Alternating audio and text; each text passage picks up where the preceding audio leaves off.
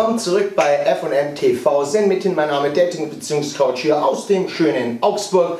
Ja, Zeit mal wieder für ein Video in unserer äh, Playlist-Reihe der Flirt-Irrtümer, Mythen etc. pp. Dinge, die noch nie so konform korrekt waren. Äh, heute mal mit einem Thema aus diesem Bereich, mit diesem Social Proof.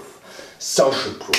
Äh, kennt man, äh, man ist, ich nehme jetzt mal den durchschnittlichen äh, jungen Mann, äh, hat hier äh, schon ein paar Damen angesprochen, hat äh, etliche Abfuhren bekommen, geht ins Internet natürlich dann hinein, holt sich diverse Tipps, Lektüre und so weiter und so fort, stoßt auf diverse Bücher von namenhaften, renommierten, sag ich einmal, Dating Coaches, Autoren, Satana, Mystery und wie sie alle heißen, kommt in diesen Pick-up-Bereich da irgendwo mit hinein und wird halt mit so Dingen wie Social Proof ganz einfach einfach konfrontiert. Social Proof als Mann, Aufbau von Status, indem man ganz einfach äh, äh, Freunde hat, äh, sich sozial gibt, zeigt, da irgendwo ein sozialer Mensch ist auch, ist man auch, ohne dass man es hier demonstrieren muss, sondern ist es tatsächlich äh, dieser Man, der gut mit Menschen reden kann, der einen großen Freundeskreis, Umgebungskreis ganz ja, und der auch irgendwie gut mit den Ladies auch ist.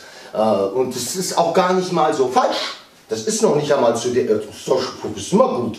Wenn jeder Mann kennt das. Wenn du mit deiner Schwester, äh, beziehungsweise wenn du mit äh, einem guten Freund, äh, einem guten Kumpel oder alleine in der Bar stehst, dann kriegst du nicht so viel Beachtung von den Frauen, wie wenn du mit einer Dame unterwegs bist. Äh, wenn du mit deiner Schwester da in die Bar reingehst, ist automatisch von mehr Frauen angesehen. Das ist auch völlig normal.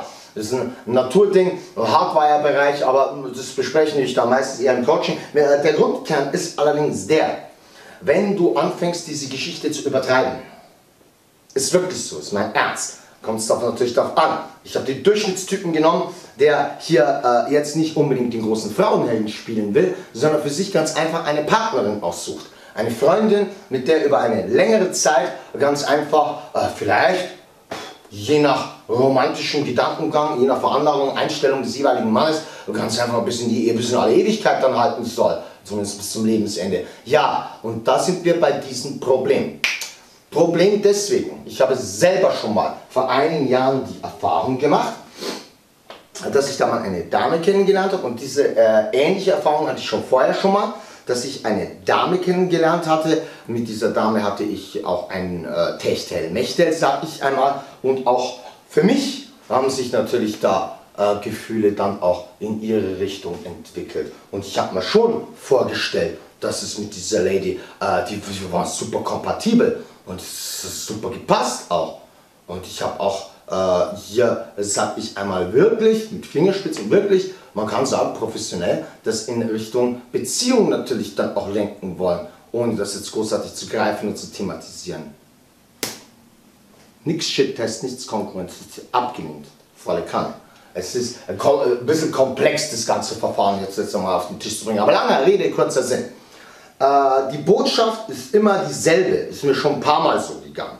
Und ich kenne auch äh, Jungs, sage ich immer von meinen äh, Leuten jetzt auch, die, äh, von denen ich auch weiß, dass sie äh, mit etlichen Damen auch ziemlich gut können, äh, die haben ganz einfach das Problem. Wortwörtlich sagte diese eine Dame, von der ich jetzt gerade zum Beispiel spreche, du bist ja so ein guter Kerl und ich mag dich wirklich ganz gern und ich würde mal wahnsinnig viel mit dir vorstellen. Nur,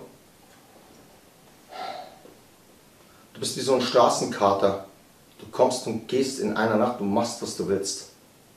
Und hier sind wir, genau wie wir es in der Partnerprüfung haben, wo ich das erklärt habe, mit dieser Attraction, bei diesem Afflection-Level. Sicherheit. Wenn die Frau bei dir keine Sicherheit empfindet, dann kannst du Attraction aufbauen ohne Ende. Wenn sie dumme Frau ist, dann geht's. Aber mit einer dummen Frau bist du nicht glücklich. Was willst du mit einer Frau, die überwiegend noch so toll aussehen?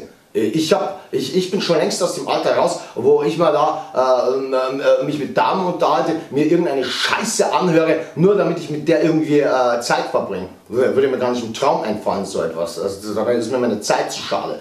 Aber für dich muss klar sein, dumm Frauen ist nicht glücklich, aber wirklich qualitativ hochwertige Frauen sind immer Frauen, die in ihrer Verhaltensweise, in ihrem Wesen überwiegend mit Alpha-Anteilen vertraut sind, die äh, regeln da vorher ab, die denken langfristiger. Äh, die äh, sagen klipp und klar, äh, der nicht. Und da bist du ganz einfach bloß der Fuckbuddy für eine Zeit lang. Und das wirst du dann schon merken, was ich meine, wenn du dann einmal fragst, du, Wochenende, Kino gehen, essen gehen oder sonst was, wirst du schon merken, wenn da diese Aussage kommt, ich habe keine Zeit, muss meine Tante ins Krankenhaus fahren und solche Scherze. Das heißt, Social Proof in allen Ehren, nur wenn du damit unter, übertreibst, sag ich einmal, in deiner Region, in deinem Umfeld, so diese, diesen, äh, diesen Anflug von Casanova-Flair hast irgendwo. Mit anderen Worten, wenn die Leute über dich sagen, das ist ein Frauenheld, dann hast du kein Safety-Level. Ja, und dann hast du natürlich keine Chance. Aber ja, da bist halt der Ficker, fertig aus. Aber nicht der Kerl, der eine Beziehung abkriegt. Und dann ist sie da, abends äh, wenn man so im Bett liegt. So diese Einsamkeit und die kann ganz schön kalt werden, wenn sie sich anschleicht. Darüber vielleicht einmal nachdenken, äh, nicht unbedingt alles da draußen mitnehmen, was auf der Straße liegt, nur weil irgendeiner das mal in seinem Buch geschrieben hat oder weil es in Foren großartig so rauspräsentiert wird, sich Gedanken darüber machen und so für sich selbst als Mann auch seinen Wert auch erkennen, dass man auch wirklich nicht alles aufheben muss, was da irgendwo auf der Straße herumliegt. In diesem Sinne. Du hast das Problem, dass dein Ex oder deine Ex zurückhaben möchte. Ich weiß nicht wohin. Und Liebeskummer und Trennungsschmerzen. Oder auch im äh, Dating-Bereich, dass du meinetwegen als Mann oder als Frau deine Erfüllung da irgendwo für dich selber nicht hast, nicht weißt, wie du mit anderen Menschen ins Gespräch kommen sollst, eine Beziehung ganz einfach mal aufrechtzuerhalten über eine längere Zeit. Dann schau auf unsere Homepage, mach dich über die Abläufe schlau. Sobald du das getan hast, schick uns eine E-Mail oder ruf an, dann können wir mal gemeinsam gucken, wie wir dir aus der Patsche helfen können. In diesem Sinne.